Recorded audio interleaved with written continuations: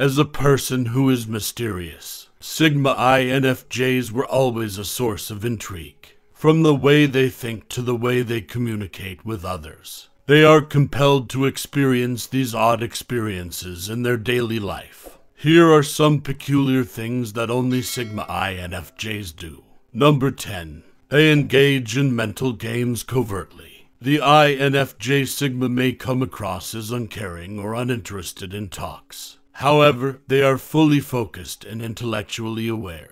During social encounters, their thoughts scrutinize the verbal and nonverbal cues that individuals use, as they glean knowledge about how they ought to approach things going forward. Sigma INFJs are able to attract others' attention or make friends by matching their moods. This is how they enter a relationship on their terms or accomplish their goals. The problem is that Sigma INFJs are skilled manipulators. They can manipulate people's reactions and impressions by using their intelligence to comprehend and penetrate people's rationale. However, Sigma INFJs employ this skill wisely and in moderation, unlike toxic manipulators. Yes, they are able to manipulate others intellectually. However, that does not imply that they would damage others with this. Number 9. If they are not amused, they do not smile or chuckle. People mistakenly believe that Sigma INFJs are curiously unresponsive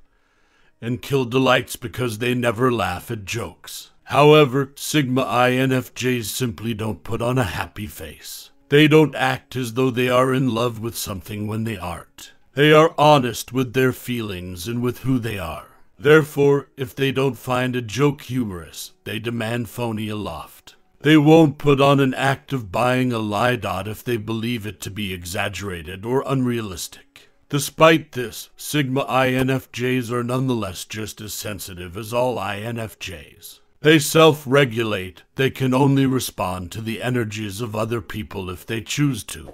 They can react to drama if they choose to, rather than just because they did. However, Sigma INFJs won't become less polite if they don't always react to social interactions in a policing anticipated way. It is wonderful to resist being hypocrites and trying to please everyone. Do some of your peers also dislike you because you're a Sigma INFJ and don't take jokes well? Number 8. They are deeply contemplating. As a person whose goal is to reach peak self awareness, through times of solitude and meditation, Sigma INFJs experience deep self discovery. They don't talk about this behavior as much with their friends and family, though. They don't speak as passionately about the benefits this habit has had on their relationships, quality of life, or health. Why? Because they simply love meditation for what it is, without regard to how others might perceive it. Therefore, they have little interest in persuading others to follow suit. They don't care as much about letting others be invested in their well being as much as they do. People are free to be and do what they like. The best quality of an INFJ is this, to begin with. They won't interrogate others about their routines or their lack of interest in meditation. It's as a result of their awareness of the variations in personal preferences. Sigma INFJs have experienced this inner experience and have become completely absorbed at this point. They'd want to keep it under wraps. It stays ecstatic by performing it and taking pleasure in it without being overly noisy. Number 7. One moment being mute, the next speaking out. One Sigma INFJs have a relaxed approach to social situations and won't try to impress others with their speech. They won't answer in order to keep the conversation from becoming awkward. They can easily remain silent when they have nothing more to say. They can politely decline to respond if they are unsure about the response. They never speak unless they really intend to. They do not always express their concerns, rather, they do so when it is necessary. However, when they have a lot to say, the opposite occurs. This explains how they can be silent one second and take control of the conversation the next. The minds of Sigma INFJs are complex. They gather information by observing, analyzing, and connecting it to a larger picture. enabling them to speak more intelligently than everyone else. How does participating in conversations as a silent observer help you as a Sigma INFJ?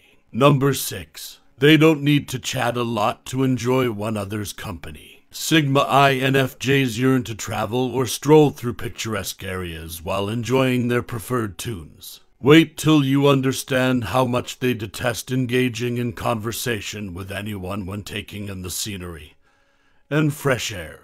Only Sigma INFJs cherish their silence and refuse to engage in conversation with others. They won't even try to act interested in the discussion. They don't want to ride with somebody who can't keep their mouth shut for more than five minutes. Therefore, it is the last thing they want to do. Sigma INFJs would prefer it if people would leave them alone so they could enjoy the beautiful scenery and enjoyable music. They won't, however, order anyone to stop talking and let them to relish their seclusion.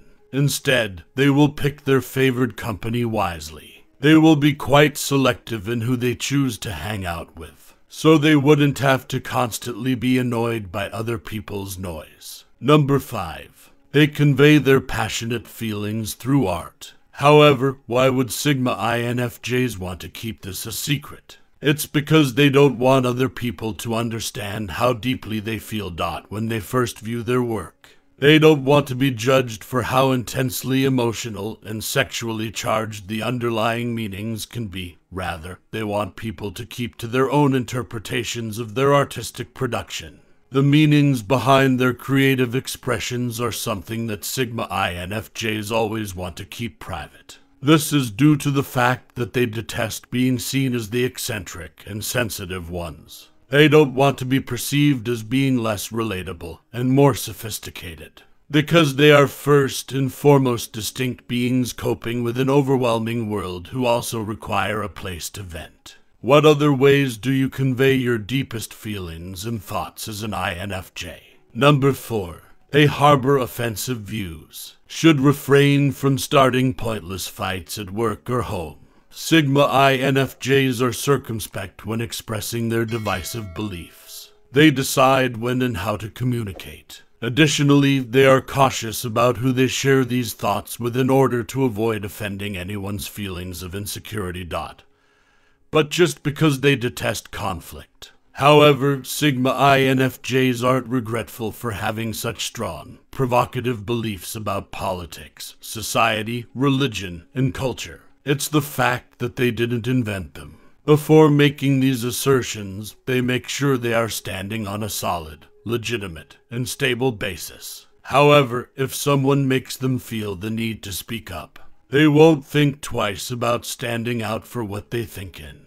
When necessary, they won't use effort trying to fight the instinct to defend themselves. Number 3. They abruptly exit relationships. Most of the time, people won't anticipate a Sigma INFJ's decision to leave. Sigma INFJs won't have to let their feelings or subjective viewpoints cloud their judgment when deciding whether or not to stay because they are patient observers. They don't behave in a way that demands constant compliance in order to find peace of mind in relationships. They are not the kind of people that lecture their spouse on what is appropriate and inappropriate in a relationship. Their only responsibility is to express their emotional requirements to their spouse a few times, then watch how they are met. They see how those around them address their worries without emphasizing them again.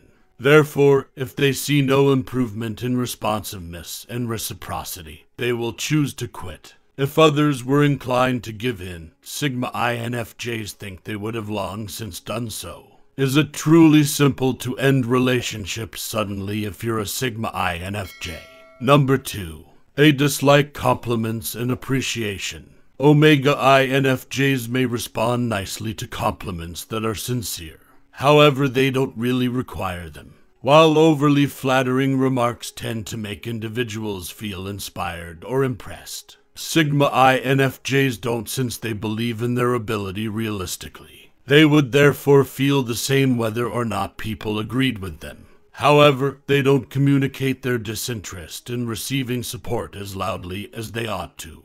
They do so because they value the individuals who performed it. They are grateful to those who helped them and genuinely cared for them. Just that they would continue to feel happy and confident whether or not they received societal approval. Even if others don't believe in them, they can excel at what they are passionate about. Therefore, compliments from those who saw their efforts wouldn't inflate their egos because they were never dependent on it. Number one, as long as no one is on their wavelength, they will put off making commitments. For a long time, Sigma INFJs won't mind being single. Although Sigma INFJs are criticized for purposefully avoiding commitments, they are really just getting ready for the right one.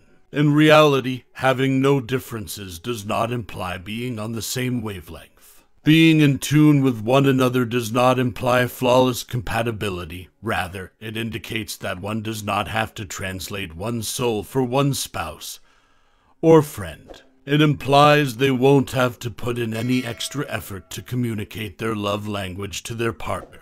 It's because they adhere to a comparable range of ideas, viewpoints, and realities. Dot they travel the same route and aim for comparable objectives. Till they track down that individual. Sigma INFJs would rather stay by themselves than change who they are in order to fit in.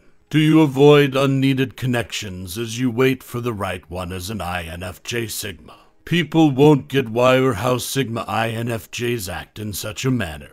But in truth, they are not required to. Sigma INFJs are way they are for a reason and serve that reason adequately. What other peculiar tendencies of yours do you find intriguing? Would you still like to share your motivations for being who you are?